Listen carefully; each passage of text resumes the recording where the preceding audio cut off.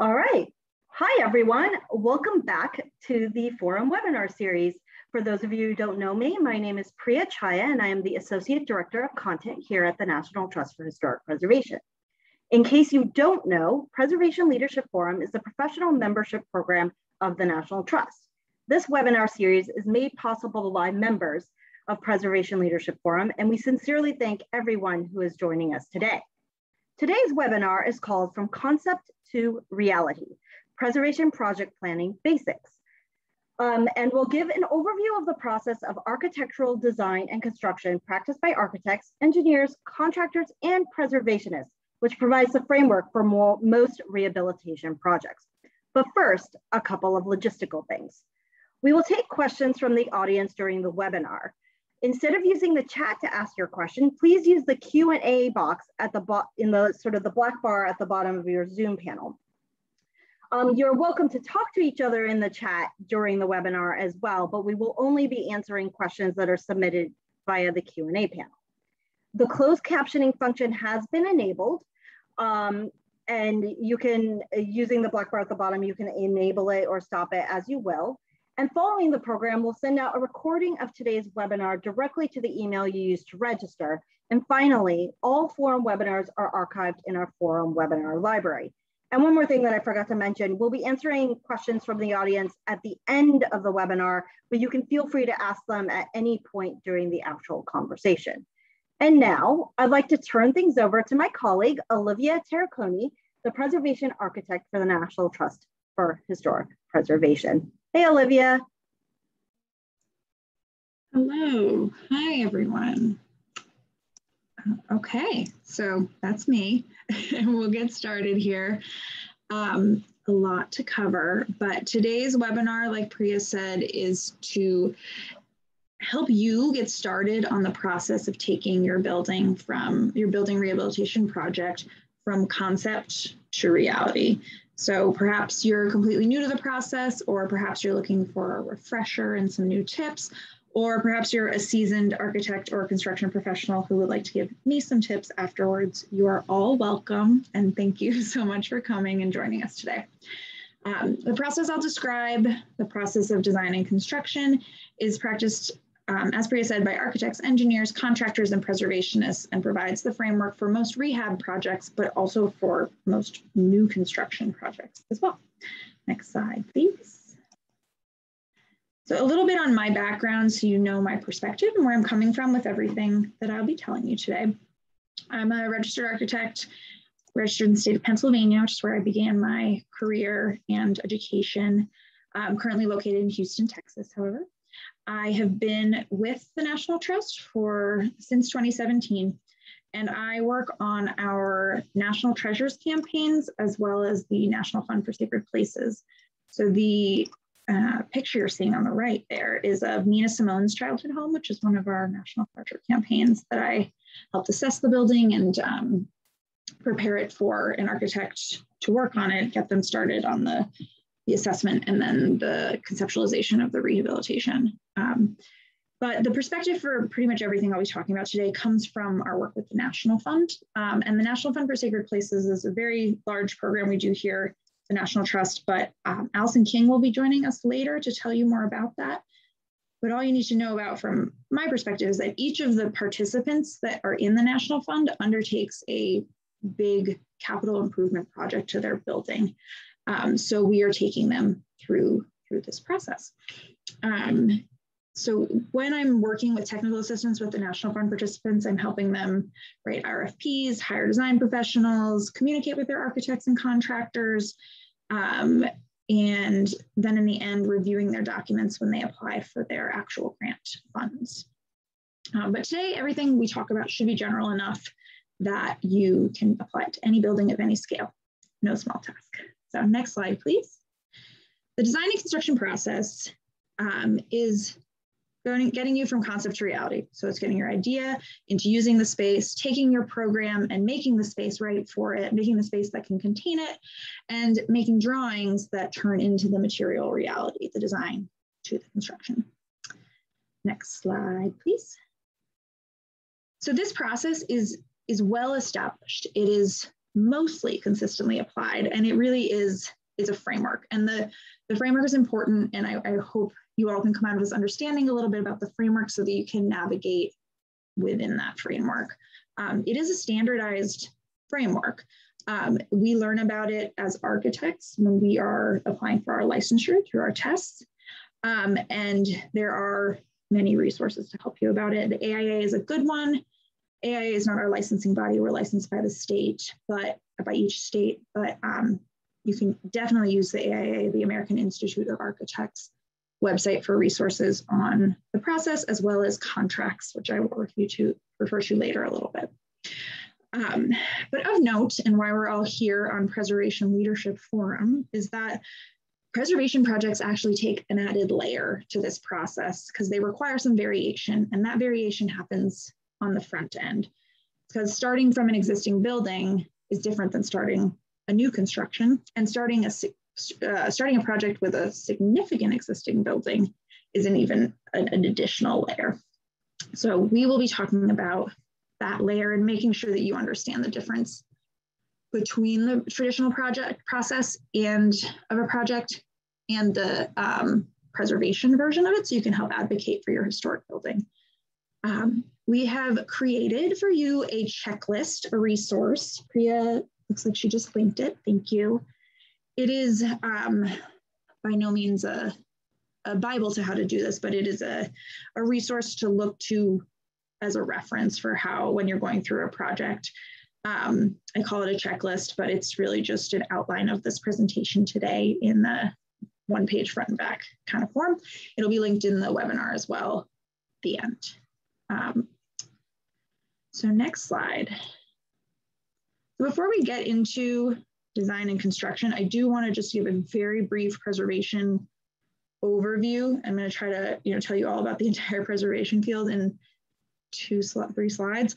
Um, but for those of you that may have a historic building and haven't really interacted with, with the preservation infrastructure that much, there is a lot to learn and a lot of nuance. So I'm going to keep it as general as possible. But basically, when we approach, when preservationists approach a building, there are four treatments they're approaching it with. Um, so it's kind of like, what do we do in preservation? We apply these one of these four treatments to a building, um, preservation, rehabilitation, restoration, reconstruction. Um, preservation is under, it's a little confusing, but as a treatment, it's simply sustaining the existing form as is, no updates, um, no, every change over time is maintained. You maybe make a couple updates for building code compliance and, and um, stability of the building. Uh, rehabilitation, on the other hand, is improving the building to make possible compatible use. So you're preserving the historic character, but you're also bringing it back into active use um, for potentially a different use than it was originally intended, but it's compatible. Restoration is taking a building back to another time, a period of significance, and stripping away all other periods. So it's very specific to a time. And reconstruction is a new construction, actually, but it is accurately replicating a non surviving structure. So these treatments are outlined by the Secretary of the Interior, which we'll talk about in a sec, but it's basically the philosophy for approaching a building. But within that, there are many different pieces to a building. Perhaps you're going to restore a window or restore a banister, but you're not restoring the entire building in a restoration. You're probably doing a rehabilitation. And the design and construction process at its core is about improving and changing a building. So for the context of the rest of this webinar, for the most part, I will be talking about rehabilitations. Next slide. Now, that's what we do in preservation at the highest level, and this is who you deal with. So there are a lot of people practicing preservation. There are, this is a chart that has helped me since I've been in preservation um, as an architect and thought it'd be helpful for people who aren't familiar, but we have regulatory governmental agencies and we have advocacy and private nonprofits. And then it, they have each of those different types of organizations at the national, state, and local level. So we at the National Trust are the private nonprofit at a national level. And an example of another org that does this national work would be Preservation Action. And we are the nonprofit private counterparts to the government's national organization that's enforcing the National Preservation Act um, is the National Park Service, which is a part of the Department of the Interior. State level, we have, for the regulatory, we have the State Historic Preservation Office, goes by many different names, so check, make sure you know what yours is. Here in Texas, ours is the Texas Historical Commission. Um, other places will just call it the State Historic Preservation Office or SHPO. And then you might have a statewide nonprofit. In most states, we do. Here in Texas, we have Preservation Texas. So it's a nonprofit, not regulating anything, but here to advocate for preservation on a statewide level.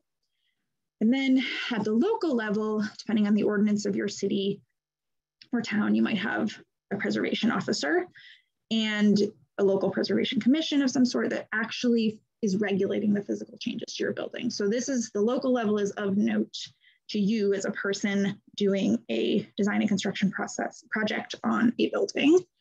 And you probably also have a local or a few, many different types and, and interest local nonprofits that can be useful as you embark on your project as well.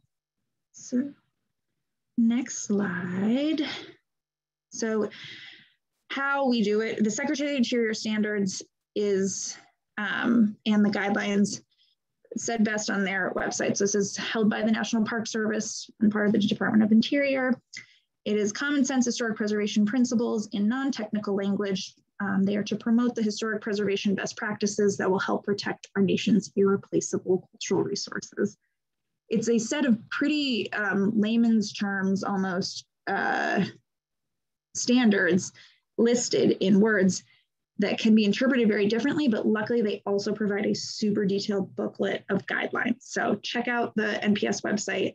These are what govern how we do a lot of our work um, and very important to the field and to your work going forward on your building.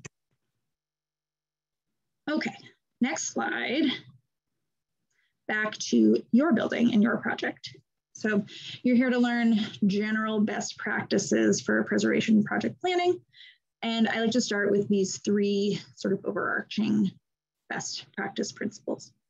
So before you go out and hire anybody, start internally. Look, look within, decide what are your internal priorities for your building. Why, why are we changing our building? Perhaps it's just a, a deferred maintenance project, or perhaps it's we want to change how we function overall, how this building is positioned in its community and in the world. Um, it's best to figure that kind of stuff out before you hire someone so that you can best use their services. Um, and then I recommend memorializing those priorities in some sort of internal priorities document or something you keep around so that you can always kind of check back with yourself. Next, I would say look for preservation or look for professionals experienced in historic preservation. And that goes for architects, contractors, engineers, and anybody who's going to be touching or designing your building it's it's a different, a unique set of circumstances required that are that exist with historic buildings. And So it requires a unique set of professionals. So you want to check their qualifications and references. And just remember, a good architect may not be the right architect for your project. So the architect who designed the amazing industrial rehab into a shopping center in your town or city might not be the best person to do the design for the restoration of a historic house museum with Victorian details. And same thing goes for a contractor who might be fantastic to work with on a new house or a kitchen renovation. But if they've never worked with a historic building before, they can really truly do more harm than good. Um, so check qualifications. And lastly, make very thorough plans before you touch your building, before you change it. Undoing a physical change to your building can be irreversible or extremely, extremely expensive to reverse. So a wrong decision could end up impacting future historic designations or current or funding sources related to that. So it's not to, meant to scare you from proceeding. It's meant to just scare you away from someone who walks in and says, okay, let's go, let's get started. If they walk in with a hammer, ask them to put it down and say, let's talk about what the design is first before we proceed. Okay, next slide. So the process that I'm talking about, the design and construction process, is usually talked about in terms of design, bid, build. But the overlay of historic preservation um, is that we want to add an assess part beforehand. So the assessing is when you begin with diagnostics, begin with diagnosing your building, and we would call that the pre-design or diagnostics phase. The gray on the right um, will relate you back to the checklist that pre sent. Um, so after we do, after we assess, we design, we create a roadmap for how to proceed. Then we bid the project where we pick the team who's actually going to alter the building. And then we build, we implement that plan. Next slide. So begin with diagnostics. The metaphor for the diagnostics uh, and the pre-design phase I like is of a, a building x-ray. And this photo is fantastic. I um, wish I knew where it came from. Sorry, credit internet. But a building assessment is like an x-ray for your building because doing a construction pro project on your building is like doing a surgery. And I don't think any of us would like someone to open up their chest without doing the appropriate amount of diagnostic testing, like MRI, CAT scan, whatever they need to make sure that we're going in, we're doing the right surgery or the right project. Um, and you can then proceed from there with a relatively low investment compared to the rest of the process with confidence that you're doing the right thing for your building. So the example that I like to pro provide here was given to me by another architect, and he was telling me how he had a church come to him and say, we want to replace the roof. There's a leak. We see it in the ceiling of the sanctuary. And he said, hold on, before we just replace the roof, let's assess and figure out why the leak is there. Lo and behold, the roof was totally fine. It was an HVAC unit in an adjacent attic leaking. So replacing the roof, if they had just decided to call a contractor and replace the roof, all of that would have been a waste and the leak would have continued. So that is why we assess. Next is, oh, the building assessment is sort of the tool for assessment. So we encourage every congregation that we work with to commission an, an official holistic building assessment report and the checklist will give you more details on what to include in those types of things, but they have lots of different names, like a condition assessment, an HSR, a feasibility study, a master plan. Um, but the intention of an assessment report is to find the sources of your issues and then provide prioritized recommendations for how to proceed. So ultimately giving you a path, an option of how to proceed forward in a way that is um, prioritized and you can choose then with how to proceed to, with the actual work. Next.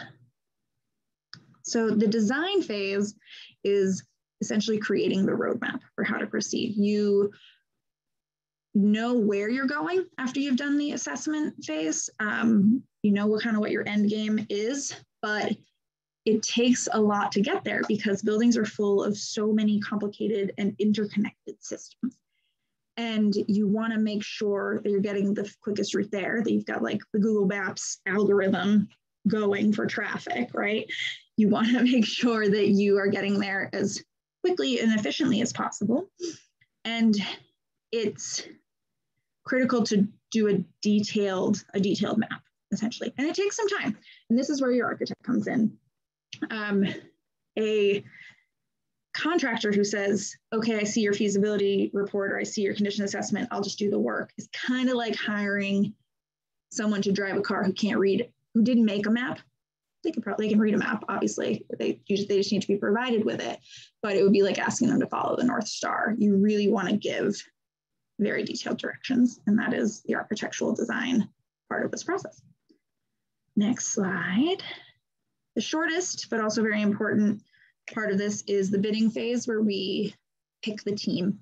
So just uh, it's kind of a plug for competitive bidding, making sure you're getting multiple prices for the same scope of work and um, hiring a team captain to pick the team from your side as the owner, which could be a project manager internally or you hire someone else.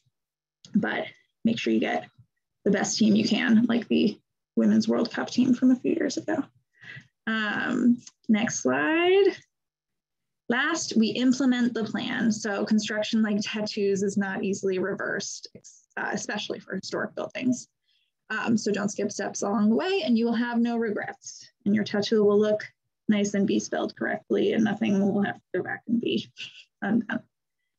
So now next slide onto the details, if that wasn't enough. This is a animated slide, so Rhonda's just gonna click through all of them for me, thank you. Um, so we've got the design, bid, build process. And within that, there are smaller pieces. Um, so pre-design, SD, DD, DD, CDs, bid, CA operation. Pre-design is the concept, kind of the formation of project basics. And uh, I'm just, I'm talking about the traditional version right now. I'm gonna do a historic, historic preservation overlay in the next slide. Schematic design is where we have the creative big picture concepts, and then your architect will come to you for approvals and then go back and design more in design development. And this is where we start defining building systems, your structure, your mechanical, what are they gonna look like? And then we get to construction documents, which is where the architect puts their head down and designs all the tiny little details along the way. And this takes a while and they, your architect will disappear for a little bit of time and come back to you with a lot of paper, and that's the that's your roadmap that they're making. And then bidding and negotiation and construction administration. Also, these are the roles of the architect. Um, they can help you do the bidding, and they can also be hired for construction administration um, to help make sure it's the building, the work is done and built according to their plans. Um, yep, that next slide. So the Oh yeah, sorry, we'll go through the little bubbles. Um, the overlay in the next slide with historic preservation is to really expand that pre-design phase. So it's essentially the assess that I was telling you we're adding. And it's the diagnostics we're doing and possibly a stabilization phase where you've diagnosed your, your building and you know where you want to go, but there's some urgent stabilization work that needs to happen. So you can do that sort of parallel to your, your regular design phase and construct it, construct, meaning stabilize your building while you're working on the design for the rehabilitation and improvements. Um, so all this to say preservation is just much heavier on the pre-design work and there's the stabilization phase parallel possibility. Um, next. So each of these pieces are have associated deliverables and the pre-design um, assessment phase has many different options. So these are going to depend on what you need for your building. And like I was saying before, there's many different names. Um, so without preservation, you might be doing a real estate feasibility study, programming and use study, concept, like over designing the form or evaluating the site for where you can actually put things on the piece of property you're working with. And then in preservation, you're assessing the condition, you can do a conditions assessment of the building itself, historic structures report to do a lot more about the building um, in its history and many other aspects. And then zoning and code review can be important before you even start a project just to make sure it's feasible many, many more options. And then at each step in the design process, there's also a set of drawings and specifications until you get to your final, your bid documents. Um, so lots of jargon here, but just some words to know that can be and will be thrown around during this process. Next page. So who, who does what? Um, I kind of referred to it, but always worth defining. But the architect's job is on the design side, and it's to perform a building assessment, then do the design. Um, can be separate contracts. Would actually recommend doing them as separate contracts so you can have some time to pause and reflect in between. And the design is then translated into the manual for construction, which is your construction documents, which once we sign into a bid with a contractor become contract, become a part of the contract and the contractor is contractually obliged to do it the way that it was drawn.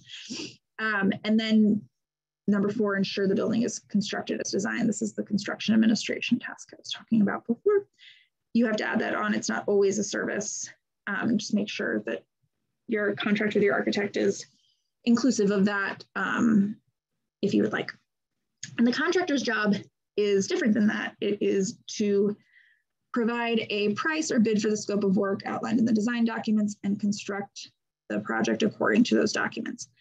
I tell you all of these things because it's just when there are variations from these very typical roles is when you should just take a moment, step back, and reflect. So a contractor may try to come in earlier, and they often will, and provide estimates. And if they would like to do that, that is extremely helpful. Um, you can also hire independent uh, cost estimators via your architectural contract.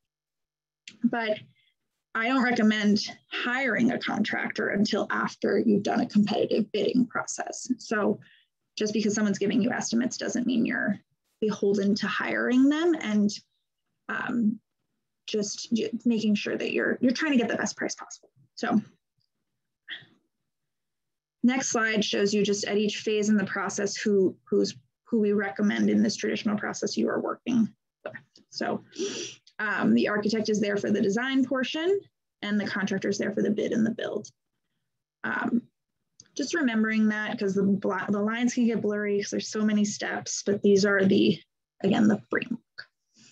Um, let's see. So the next slide is just showing you sort of the organizational chart of the relationships and who's paying who. So you as the owner are paying the architect and the contractor, but they are not tied to each other contractually, the architect and the contractor. So you're hiring the architect um, for the building assessment, like I said, and then later, separately, subsequently, or maybe all in one for the design itself.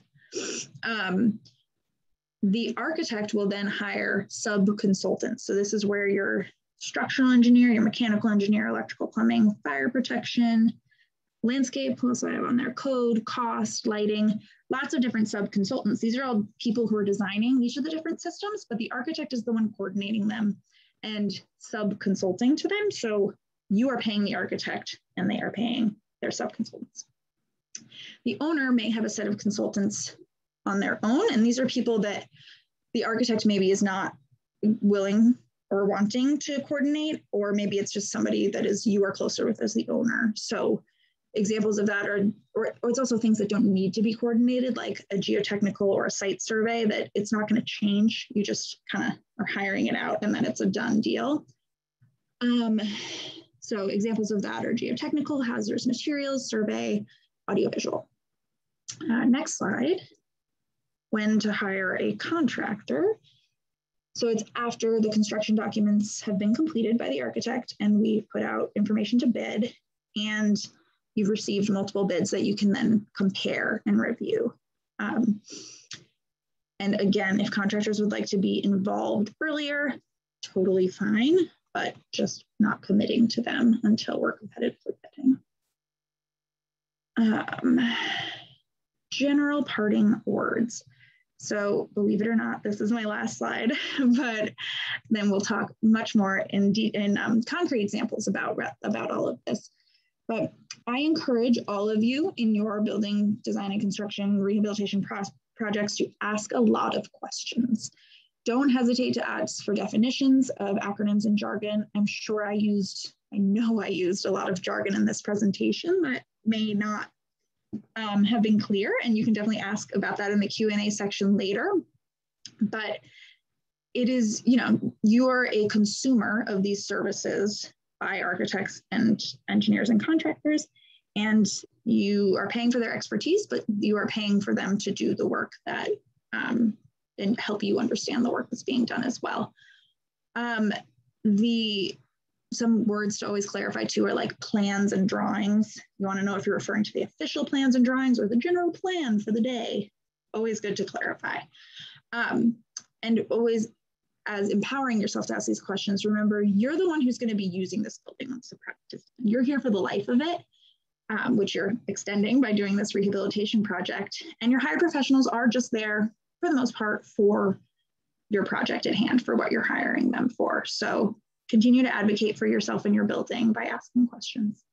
And keep records. So the drawings are documentations or any documentation of changes to your building are useful when you go on to the next project because there's pretty much always a next project with a historic building. So you can be more ready for you or whoever comes after you to undertake those if you keep good records. Um, take photos to record the progress. Everyone loves a before and after, and also it's just fun to see how far you've come. And then um, the assessment reports refer back to them. So any assessment reports you had done may have outlined steps one through 10 of priorities and you were only able to carry out one, two, four, and five. Keep the report so you can go back and see if we still need to do three in five years time, et cetera. Um, so keep those on hand. They're usually kind of thick books that sit on a shelf. Just remember where they are and keep a digital copy too. And lastly, return to those internal priorities we talked about in the beginning.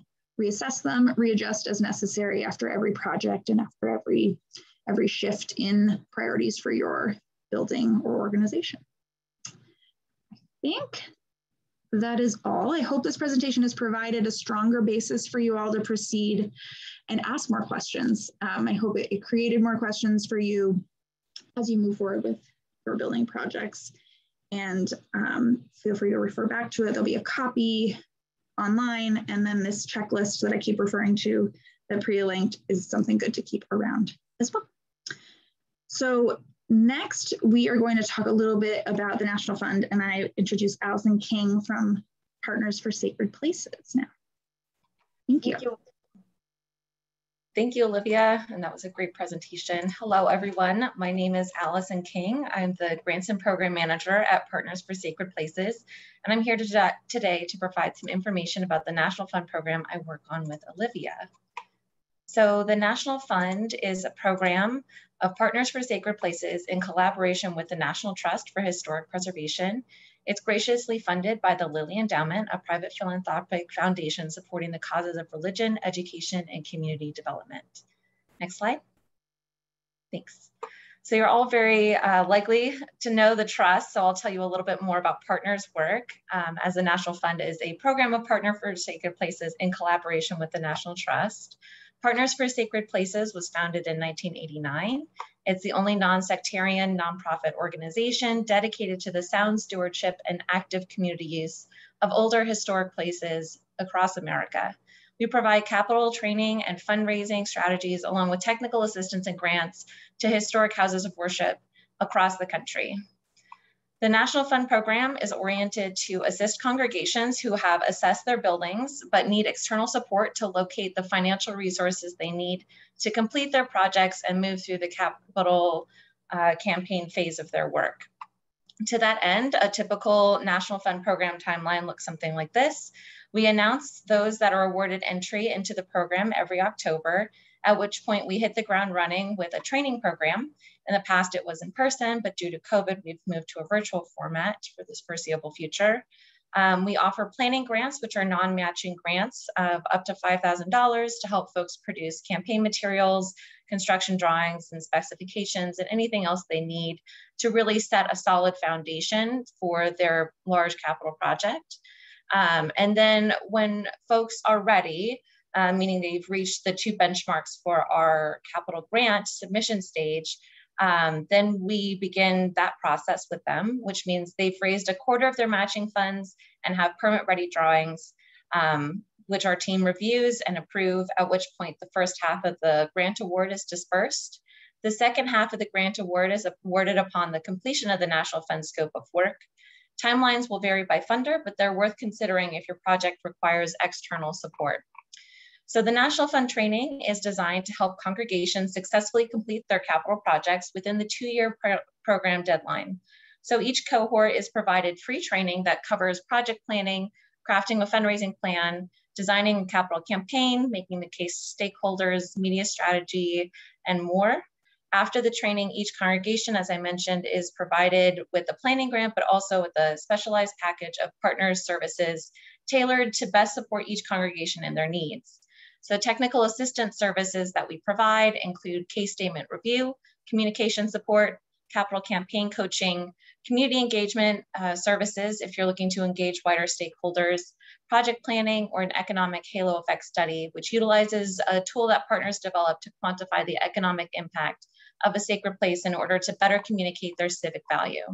All of these steps are informed by the building conditions assessment and those pre-design steps which is why it's key to understanding the totality of your building's issues and having a plan um, to communicate that to funders.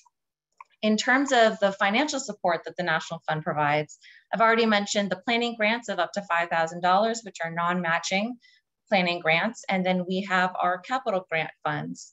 So our matching challenge, um, which is a match for all of our capital grants, is designed to incentivize congregations to expand their network of stakeholders and donors and build sustainable connections that the congregation can use to provide for their community well into the future. So each congregation must match our grant dollars for the capital grants with new money raised after they're awarded entry into our program. For grants of 50 to $100,000, the match is a one-to-one. Um, for larger grants of 100 to $250,000, it's a grant of two to one match. And so the congregation is responsible for raising $2 for every dollar that we award. Um, there's a list of typical eligible matching funds on this slide, and you can find more information about our grant eligibility process at our website, fundforsacredplaces.org. Next slide. If you are interested in applying to the grant, um, the 2022 application timeline will look similar to the 2022 application timeline here on the slide. Uh, we'll be posting the 2022 calendar later this fall, so be sure to check our website for those exact dates. We'll be opening up our letter of intent process through our online grants management system, Foundant, which you can access through our website in January. Uh, full app will be um, the letters of intent will be due uh, towards the end of February, early March. Um, we have a two-step application process. So folks, you can go back one slide. Um, thank you. Uh, so folks um, need to get their letters of intent in by March 1st um, or by the end of February. We'll notify folks in June as to what that looks like. Um, we typically go from between 300 applicants to about 30 that we invite for a full application, which goes into a little bit more depth. Um, we confer our choices with our advisory committee meeting in September, which is after the full applications are due in July. And then we notify folks if they're awarded into the program in October. Thanks, next slide. Here's a map showing of kind of where all of our grantees have been located so far.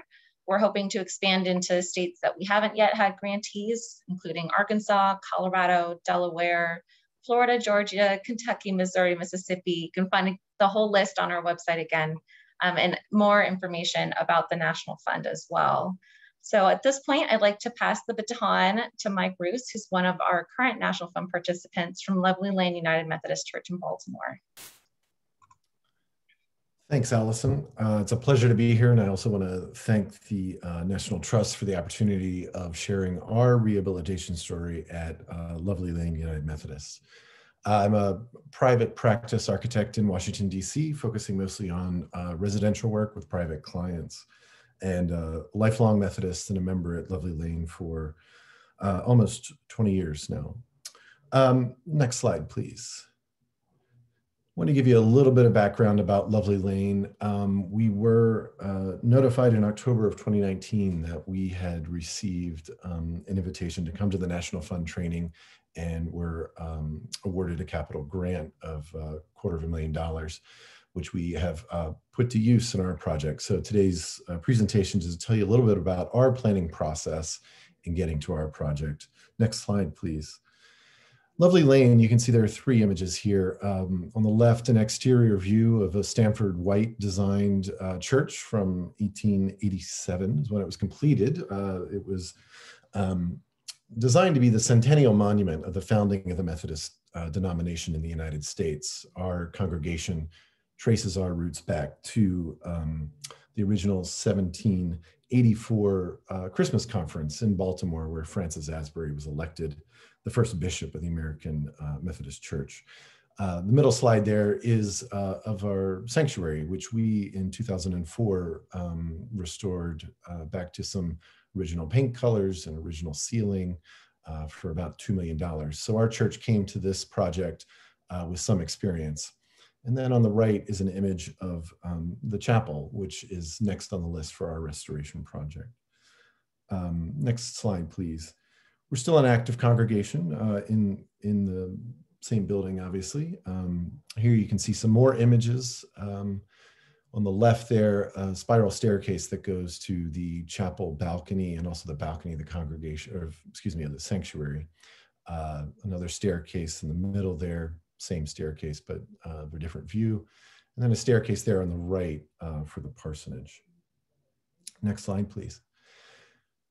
Some more images of uh, kind of the chapel and the building. And at this point, I want to tell you a little bit about how we got started. Um, so we started with forming a business, or excuse me, a, uh, building renovation task force.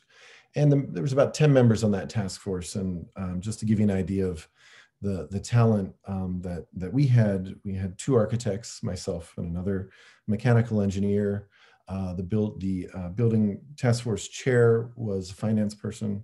Course, we had the pastor, we had a lawyer, uh, we had an English teacher, which helped in the BNA study and in catching a lot of grammatical errors. But we were all dedicated people that came together. Next slide, please. Um, that building renovation task force started in uh, August of 2017, and we, we later uh, turned that into what was called the Lovely Lane 21st Century Committee after our training uh, in Chicago with the National Fund. Um, in that, we had five subcommittees, uh, communications committee to get the word out through uh, digital newsletters, emails. Um, you can actually go to the church's website and under the publication link, see a lot of the digital media that we've put out to, um, to donors and, and funding sources. We had an RFP committee, which I chaired, which was uh, in charge of hiring the architect and owner's rep and, and um, working on the design with the architect. Contracts committee um, for hiring the contractor, administrating that contract. Of course, we needed the fundraising committee all the way in the beginning because everyone needs money. And it, it really was um, a veritable public and private sector approach to the capital campaign, which uh, Jackie Noller, the um, chair and finance person, um, really headed up. And then a community uh, uh, committee, which basically was to find partners in the in the neighborhood. Next slide, please. So what we did first was had a charrette. And as an architecture student, I did many of these in school. It comes from the French word for cart. You can see the uh, uh, image on the left there of architecture students uh, busily putting the final uh, ink work on their drawings as they put it on the cart to go to school. But what we did was more of a charrette of bringing um, everybody together in the church. It was, again, in that committee of 10 and talking about what we needed for our building, where we um, saw our users needing uh, in the building. User, you know, building use for us is a is a is an economic thing. It, it, it helps pay the bills. What did our building offer? Um, the, the, Baltimore Sun, when the building was open, said it was one of the best acoustical spaces in the city. So we knew we had that. And this charrette was answering all those questions and placing ideas in rooms. You know, we had a, a, folk dance society that met. They they love using the um, fellowship hall. We we had a, a, a gymnasium that was used by uh, after school group. So this charrette really allowed us as the owners to pull all our ideas together to help define the project. And we did it before the building's needs assessment, which is the next slide, please. So our, our building needs assessment, we, we turned to uh, the architect that helped us with the um, uh, sanctuary renovation, and that was Donald Kahn of Walden Studios. And he basically helped us take our charrette materials and our findings and put it into the building needs assessment. And we looked at everything again from HVAC, the need for air conditioning, uh, the need for bathrooms. We literally only had maybe four or five bathrooms in the whole building, and our sanctuary can hold 750 people. So um, that was definitely something that needed to be looked at handicap access was another huge thing. And so this building needs assessment took all of that and also applied budgets to it, which then helped us to start planning for grants, raising money, and so forth. Next slide, please. So then we did the RFP process. Um, we we uh, thanked Donald for his time in, in doing the building needs assessment, and we knew we wanted to interview other architects as well because we wanted to get the best uh, out there. So I helped craft the RFP document that went out to the architects, you know, everything listed here, a project description from the BNA study, what our scope of work was, um, the schedule and budget expectations that we had as an owner. We asked for qualification statements from uh, those firms. So the resumes of the key people we'd be working with, the experiences with this type of project, asking for similar projects, and most importantly, asking for what was the budget you gave the client and what was the actual cost uh, and, and what drove that difference. So that was a really important um, uh, question that needed to be answered for, for our committee. How were they going to approach the project? Were they going to, um, you know, immediately uh, pull in uh, consultants that were necessary? I mean, MEP, are we going to work with an MEP first and then develop the design, so on and so forth? So the project approach is really important. And then you want to ask them to recapitulate what the understanding of the project is back to you. If somebody comes back and says, well, we're, you know, we're going to put a glass cube in your chapel, they didn't understand the, the nature of the project. Next slide, please. Who's on your team? Um, we talked a little bit about this. Um, so ultimately, in the interview that we had with, with all three architects that were well qualified, we settled on Walden Studio because they really brought to the table a unique viewpoint on our project. Not only did they know the building, but um, when we did the interview, we asked to not speak to the principal. We asked to speak to the project manager in charge. And um, that really came out from our owner's rep, CapEx, uh, who I'll talk about in a moment. But the project manager brought to the table for our project was creating a community space, which is what we wanted to ultimately do. That was really like a third place. Um, Starbucks has really capital, um, capitalized on this.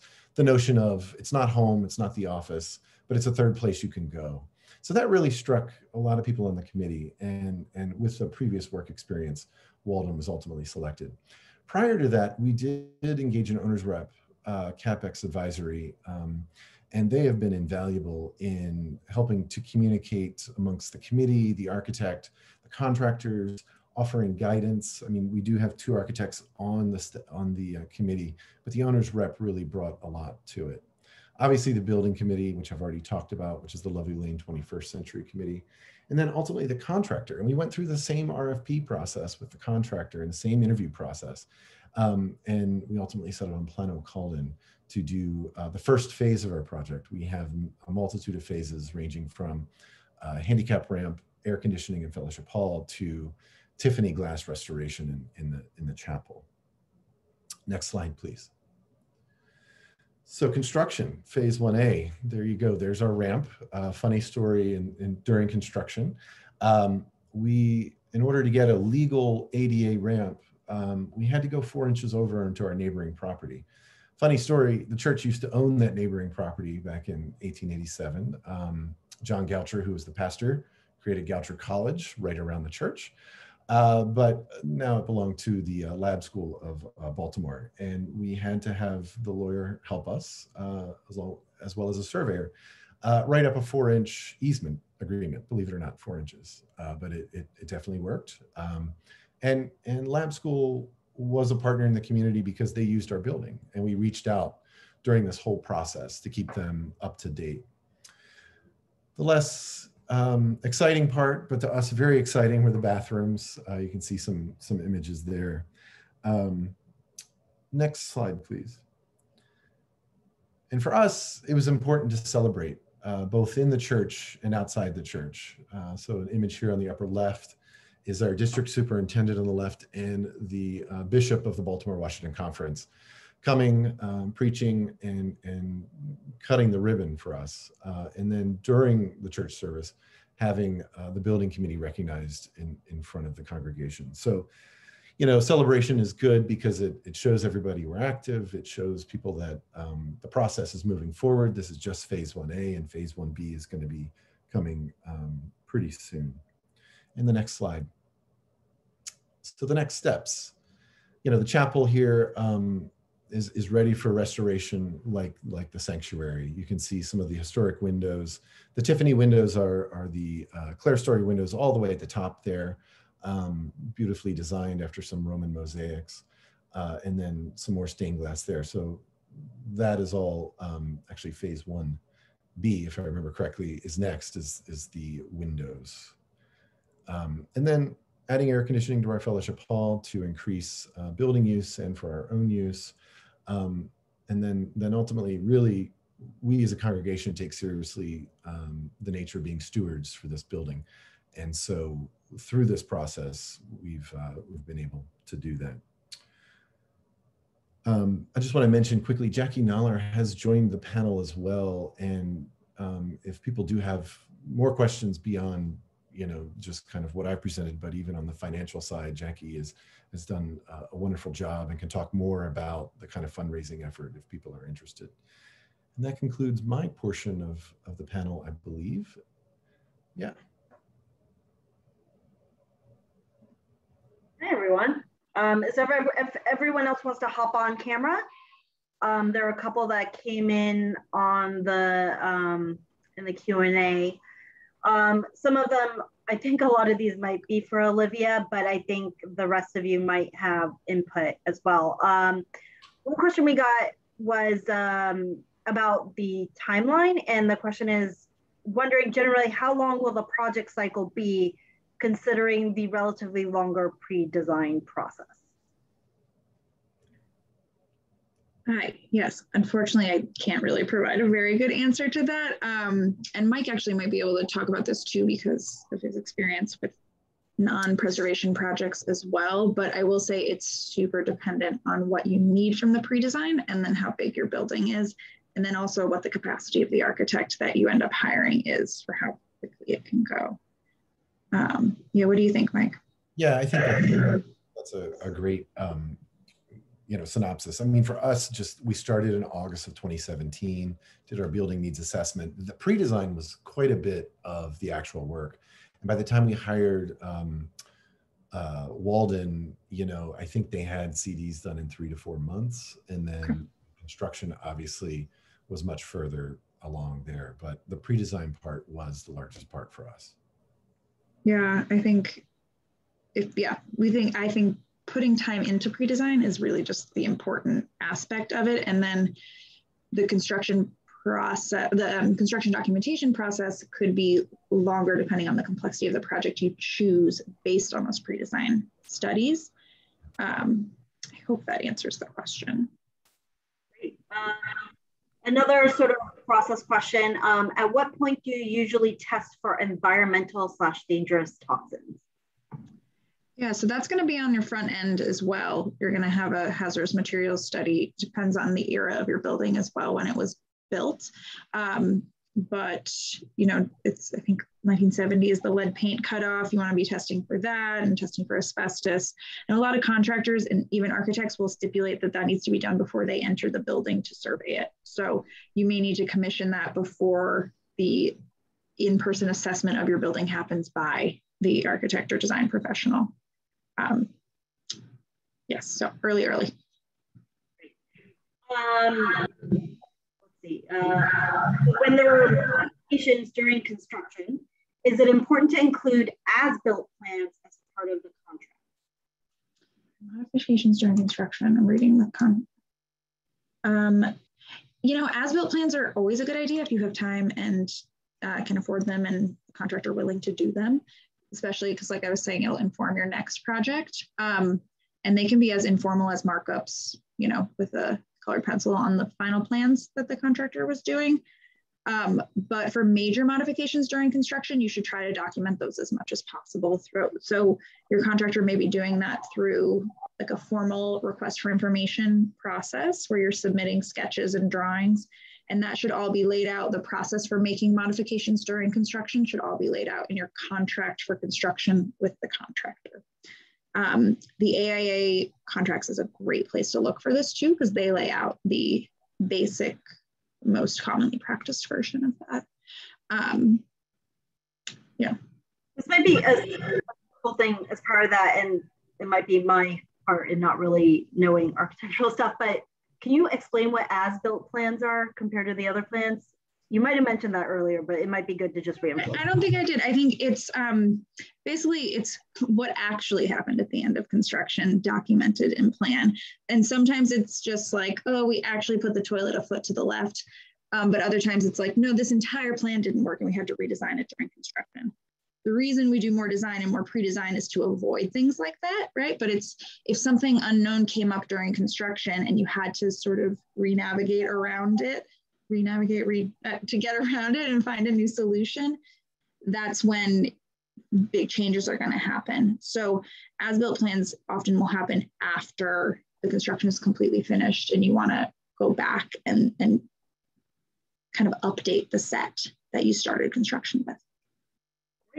Um, I think this is a question for Lovely Lane, um, but Alicia is asking, this may have been said, but is the church a historic landmark for the city? If not, did making a landmark have a place in the conversation for the process? Great question. Um, we actually are a landmark in both the city, state, and on the National Register of Historic Places. So um, we're definitely landmark, but we were landmarked well before this project. However, th there's kind of a, another side story to this that's kind of important, and it came part uh, part of our uh, rehabilitation story is we partnered with the Maryland Historical Trust, and part of that partnership was a 15 year, I believe, easement on the building uh, an exterior easement. Um, and that enabled us to get some grant monies for some of the window restoration work we're doing. Um, and so that, again, that was one of the places where the lawyer on the committee uh, really was, was a big help in, in writing some part of that grant and, and working us through, walking through what that easement actually meant. Yeah. However, it does not mean that you can just go forward on anything unrelated to your design project if it's going to touch the exterior of the building during the duration of that easement. So it's a partnership for a long term with the preservation advocacy uh, governmental group that I think is in the best interest of the property because it was built for one reason and it's not going to become condos or whatever, at least during the easement period after the investment of the government agency to keep um, rehabilitation front and center and not repurposing. I love yeah. that that's what you guys had with that too, because a lot of times designation is seen as limitations, but for you, it was opportunity for funding. Right. Yeah. And if you're not, because this is a basics webinar, I also want to say if you're not familiar with easements, um, we have a lot of resources related to this on Preservation Leadership Forum. If you just in the search bar put easements in, and the website for forum is forum.savingplaces.org. We also have a bunch of different stories about recent easements. We put on places like the Nina Simone House and couple of other places that do a really good job of explaining how valuable they are and why they're um, critical pieces of preservation. It's a preservation tool that um, you should consider if you can. Um, but I'll try and include some of that in the follow-up email to this webinar because I'm talking right now, it'll be hard for me to drop it in the chat. So, um, um, and then there's a quick question about design build that I see there. And actually I have some information about that in the checklist, but generally I don't recommend it for historic buildings unless this design build entity that's combined is really experienced with it, um, just because the priorities are not always in line as far as schedule cost between preservation and getting something built really quickly. Um, so the, the answer to a design build question is proceed with caution and check and recheck qualifications um, and make sure you have people experienced with historic properties. And, the, and the, you can't see the Q&A panel because I'm not sure if the audience can, but um, it was from someone saying, you seem to be saying do not contract with a design build contractor if they will not separate the two disciplines kind of what that's kind of what I'm saying, but um, it we've I've seen it work and I've seen it really not work. So. and then we have this perfect timing. We have one more question, mm -hmm. uh, and you might not be able to answer them here, but we can also collect and put it in the um, recording list afterwards. But um, I may have missed this, but do you know of any funding sources or grants for pre-construction assessments since they can be costly? There are sources. I think National Trust has our preservation funds are a great source for assessments. Um, and you can find that on Preservation Leadership Forum and we can drop that in. Yeah, and um, the link I posted earlier about where you sign up for updates, that's also where all the information about National Trust grants are as well. Um, so it's basically forum.savingplaces.org. And um, if you go to the build tab, uh, it'll there'll be a button that says find funding. I recommend that folks take a look to see if their local government is a certified local government because in many states they'll also have planning grants available uh, to folks to do some of that project planning. We also took advantage of a $5,000 grant from National Trust for our um, pre-planning BNA study. we also include a $5,000 planning grant yeah, with the national funds. So um, we, we see the value of that um, with our program and hopefully other funders will also get on board. I'm not sure, maybe maybe someone on the panel knows if the Getty is still doing their planning grants as well. I'm not sure, but they they kind of focus more on modern things these days, but it may be helpful for someone in, in the chat. Yeah. Yeah. Um, so we have a couple of closing things. Um, is there are no more questions, so we're just going to go ahead and close this out. Um, so first I'm going to hit enter on this chat.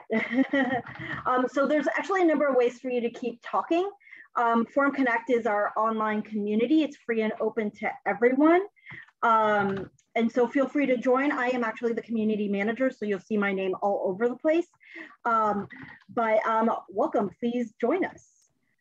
Um, then we also have a variety of um, webinars going forward. Well, we're forum webinars, we're sort of in planning for the fall. We do have these three PastForward pre-conference workshops. Um, they're 90 minutes long. They're going to be great. Um, Rhonda, who's been running the slideshow, is the one who's been organizing it, and they've got an amazing group of people on it. Uh, the registration links are um, on Preservation Leadership Forum, but they're also on the conference website, which I'm just posting a whole bunch of links for you to try and say real quick.